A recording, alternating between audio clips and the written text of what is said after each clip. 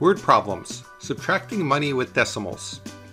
To run this activity, visit jetpackmath.com and enter activity ID M0235. A salad costs $3.18. How much change will you receive back from $20? Feel free to use a paper and pen for this, but what we need to do is take $20 and subtract $3.18.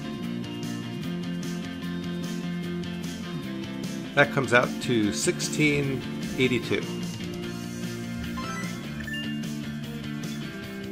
A pack of gum costs $2.03. How much change will you receive back from $3? Again, if you need a paper and pencil, go ahead and use that. So $3 minus $2.03 is 97 cents. A sandwich costs $7.32. How much change will you receive back from $10?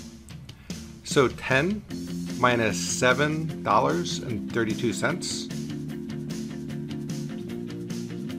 we get $2.68.